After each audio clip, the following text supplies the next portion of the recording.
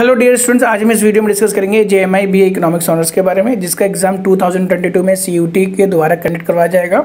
इसका domain specific subject economics होगा। दोस्तों, आज हम इस वीडियो के अंदर कुछ इंपॉर्टेंट एमसीक्यूज लेकर के आए हैं, जो हम डिस्कस करेंगे। तो डियर स्टूडेंट्स मैं आगे बढ़ने से पहले बताता हूँ चलो BA economics honours based on CUET हमारा ऑनलाइन कोर्स अवेलेबल है।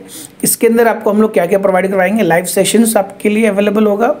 साथ ही हम बात करें रिकॉर्डेड सेशन जो लाइव सेशन लेंगे, वो भी आपको हम लोग अवेलेबल करवाएँगे राइट उसके बाद पीडीएफ कंटेंट आपको लोग प्रोवाइड करवाएँगे ऑनलाइन टेस्ट होगा और साथ में आपको मॉक टेस्ट अवेलेबल करवाएँगे राइट और इसके बाद अगर आपको इस कोर्स से रिलेटेड कोई भी इन्फॉर्मेशन लेना हो तो इस नंबर पे व्हाट्सअप कर सकते हैं। तो साथ ही इस वीडियो में आगे बढ़ने से पहले आप इस चैनल को सब्सक्राइब करें और इस वीडियो को लाइक करें एंड शेयर करें। आइए दोस्तों, हम आगे बढ़ते हैं। तो आइए क्वेश्चन नंबर वन देखते हैं। If the demand for the good is inelastic and increase in its price will cause the total expenditure of the consumer of the good question में कहा गया है, अगर कोई गुड इन है और उसकी प्राइस को हमने इंक्रीज कर दिया तो टोटल एक्सपेंडिचर पे क्या अफेक्ट पड़ेगा? ठीक है?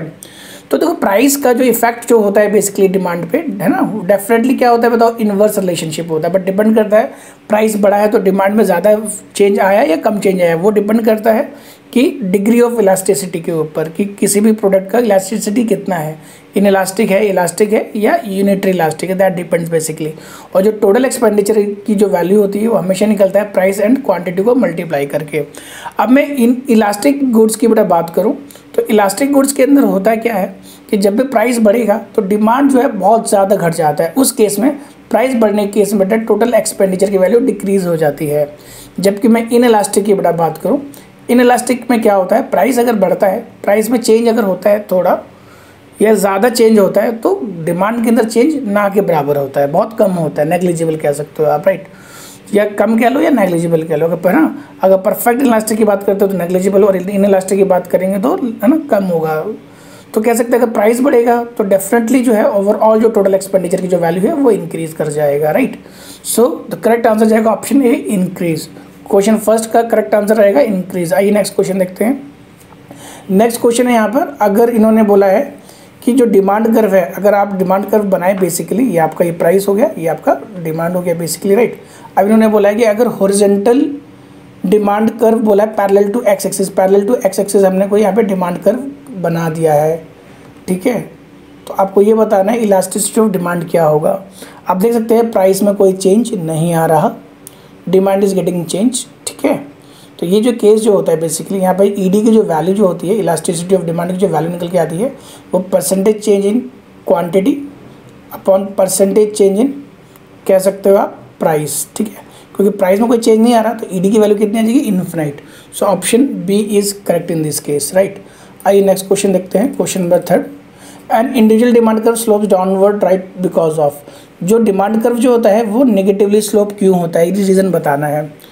ठीक है, आपको पता है लॉ ऑफ़ डिमांड क्या होता है? लॉ ऑफ़ डिमांड होता है, देखो प्राइस और डिमांड के बीच में इन्वर्स रिलेशनशिप होता है। अगर प्राइस इंक्रीज होगा तो डेफिनेटली डिमांड क्या होगा? डिक्रीज हो जाएगा। अगर प्राइस डिक्रीज होगा तो डेफिनेटली डिमांड इंक्रीज हो जाएगा। यही लॉ ऑफ़ डिमांड होता है राइट जो है ना लॉ ऑफ़ डिमांड बेसिकली जो अदर फैक्टर्स जो होते हैं बेसिकली डिमांड के उसको कांस्टेंट कर दें तो प्राइस का इम्पैक्ट इस पर क्या होता है राइट तो इसके रीजंस क्या हो सकते हैं? तो लिखा है working on the law of diminishing marginal utility diminishing diminishing marginal utility का मतलब होता है, जिस, जैसे कोई भी गुड्स है, उसका हम कंजम्पशन करते हैं तो जितनी ज़्यादा गुड्स को हम कंज्यूम करेंगे तो उसकी यूटिलिटी वैल्यू है ना? ये power of satisfying the wants वो जो वैल्यू है, वो डिक्रीज होती चली जाती है राइट तो डेफिनेटली अगर हम ज़्यादा क्वांटिटी यूज़ करेंगे तो यूटिलिटी सेटिस्फैक्शन जो हमें जो यूटिलिटी जो वैल्यू जो मिल रहेगा हमें एडिशनल गुड से वो डिक्रीज़ हो जाएगा। तो हम, हमारी टेंडेंसी होगी हम प्राइस कम पे करें राइट तो हायर क्वांटिटी जब परचेज करेंगे तो प्राइस कम हो जाता है। तो डेफिनेटली जो ऑप्शन ए है, वो जो है is working according to the law of demand तो ये एक रीज़न हो सकता है। अब बेटा मैं बात करूँ इसके बारे में। सेकेंड जो क्वेश्चन है बेसिकली सेकंड जो ऑप्शन है basically substitution effect of decrease in the price substitution effect of decrease in price का मतलब ये हो गया कि अगर हम प्राइस इंक्रीज कर दें किसी गुड्स का तो हमारी जो फॉर एग्ज़ाम्पल हम टी कंज्यूम कर रहे हैं, उसका प्राइस बढ़ गया तो हम क्या करेंगे, उसको सब्सटीट्यूट करने की कोशिश करेंगे लाइक कॉफ़ी तो प्राइस बढ़ने की वजह से क्या होगा? डिमांड कम हो जाएगा. तो ये भी एक रीज़न हो सकता है. बी भी क्या एक रीज़न है? लॉ ऑफ़ डिमांड का। सी देखते हैं हम लोग income effect of fall in the price अगर प्राइस फॉल हो जाता है बेसिकली तो हमारा रियल इनकम इंक्रीज हो जाता है। तो हमारी टेंडेंसी होती है हम ज़्यादा क्वांटिटी परचेज करें। तो कम इनकम पे आप कह सकते हो लो ना लो प्राइस पे आप कह सकते हो, हम ज़्यादा परचेज करें तो डिमांड बढ़ गया। तो देखो रिलेशनशिप क्या हो गया? इनवर्स हो गया। सो ऑप्शन सी भी जो है बेसिकली इसका एक रीज़न हो सकता है। सो करेक्ट आंसर जाएगा option D all of the above आइए नेक्स्ट क्वेश्चन देखते हैं। नेक्स्ट क्वेश्चन है। Income elasticity of demand is defined as responsiveness of अब बात करें, अगर ये price elasticity price elasticity of demand की बात करें तो डिमांड में क्या चेंज आता है प्राइस की वजह से? अब यहाँ पे इनकम इलास्टिसिटी बोला है तो हम यहाँ पे क्या देखेंगे? इनकम की वजह से क्या चेंज आ रहा है? क्वांटिटी पे। So option A is correct in this case आइए नेक्स्ट क्वेश्चन देखते हैं। नेक्स्ट क्वेश्चन है the cost of one thing in terms of alternative given up कहने का मतलब है, अगर कोई एक चीज़ का कॉस्ट हम कंसिडर कर रहे हैं और दूसरे को हमको फॉरगोन करना पड़ रहा है, क्योंकि रिसोर्स तो लिमिटेड होता है। अगर एक चीज़ों को हम यूज़ कर रहे हैं और दूसरे को हमने फॉरगोन कर दिया सेक्रीफाइस कर दिया तो ऐसे कॉस्ट को क्या कहते हैं? ऐसे कॉस्ट को अपॉर्चुनिटी कॉस्ट कहा जाता है। तो डियर स्टूडेंट्स ये थे कुछ इंपॉर्टेंट क्वेश्चन जो मैं लेकर के आया था। आप लोग इस वीडियो में बने रहे, हमारे चैनल को सब्सक्राइब करें वीडियो को लाइक करें शेयर करें।